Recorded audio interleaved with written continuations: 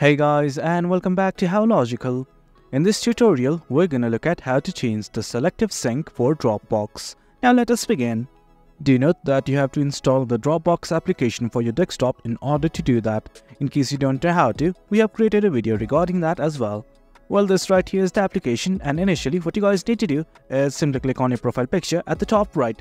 And from here, as you can see, lots of options have popped up. Well, what you need to do is simply scroll down to preferences. Once you're in the preferences section, well, it's quite easy. All you have to do is go over to sync. The buttons at the very bottom, just below notifications. Simply click on it. And from here, as you can see, there are multiple things like how do you want to store new files, and the main thing we're looking for, selective sync. And right next to it, there's a button like this that says select folders. Simply click on it. And from here, just select the folder that you want to appear on the computer Let's say I'm gonna select these two and hit on update. It might ask for your confirmation, simply hit on confirm. And guys, that is it. The selected folders will be live on this computer. That's the gist of it guys. That's how you selective sync or change the selective sync for Dropbox.